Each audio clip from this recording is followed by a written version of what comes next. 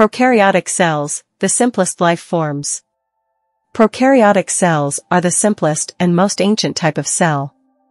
They are single-celled organisms that lack a nucleus and other membrane-bound organelles.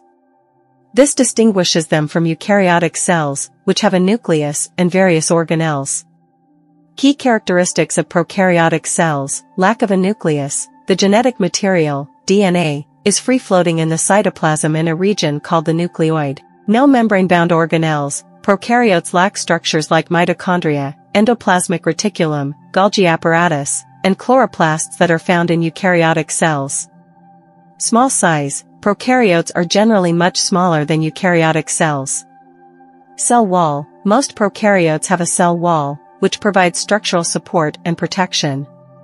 Ribosomes, prokaryotes have ribosomes, which are responsible for protein synthesis. Flagella and pili, some prokaryotes have flagella for movement and pili for attachment to surfaces. Domains of prokaryotes, Prokaryotes are divided into two domains, bacteria. This domain includes most of the bacteria we encounter in our daily lives, such as E. coli and Staphylococcus aureus.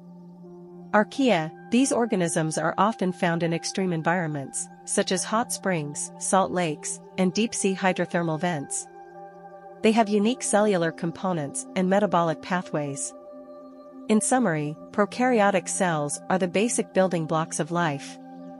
Despite their simple structure, they are incredibly diverse and have played a crucial role in the evolution of life on Earth.